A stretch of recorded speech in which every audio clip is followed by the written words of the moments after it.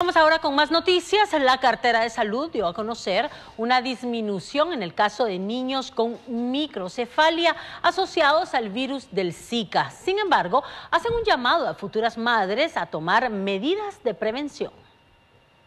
Durante 2018 se reportaron 330 casos de bebés que nacieron con malformaciones congénitas, 194 de ellos con microcefalia. Sin embargo, después de los análisis de laboratorio, 7 correspondían a Zika. 7 casos fueron positivos para eh, Zika de niñitos que tenían microcefalia.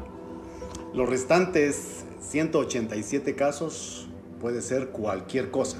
Entonces, sí hay una reducción. De hecho, hay una reducción notable de, los casos, porque eh, el, año anterior eh, habíamos tenido más de, casi muy cercano a 500 casos de Zika de toda la población.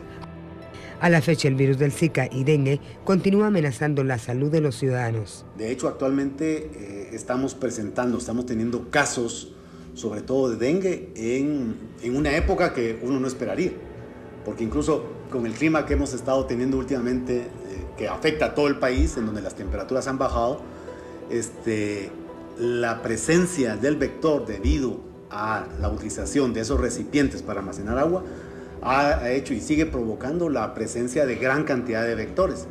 Y como tenemos cuatro serotipos, los cuatro están identificados y están circulando en el país, eh, el virus está eh, a la orden del día. Y entonces tenemos, podemos tener casos en cualquier época del año.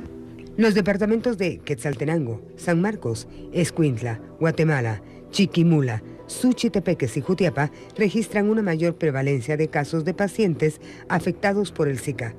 Por el momento se mantiene en vigilancia a 26 mujeres que resultaron positivas de Zika y a otras 7 cuyo resultado fue una variante de dengue.